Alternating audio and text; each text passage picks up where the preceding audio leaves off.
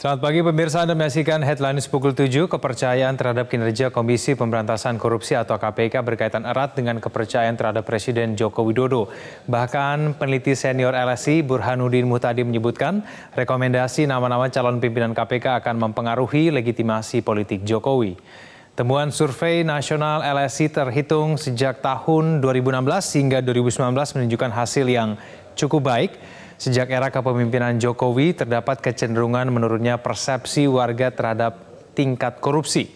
Berdasarkan hasil survei LSI, kinerja KPK berkaitan erat dengan tingkat kepercayaan masyarakat terhadap Presiden Joko Widodo. Lebih jauh dari itu, bahkan rekomendasi nama-nama calon pimpinan KPK pun berimplikasi pada legitimasi politik Jokowi. Siapa 10 nama yang akan dikirim ke DPR berdasarkan masukan dari pansel misalnya muncul nama-nama yang dianggap eh, memiliki rekam jejak yang buruk, dianggap punya integritas yang bermasalah, maka itu implikasi lanjutnya adalah legitimasi politik Presiden Jokowi karena approval ratingnya sangat mungkin akan terdegradasi.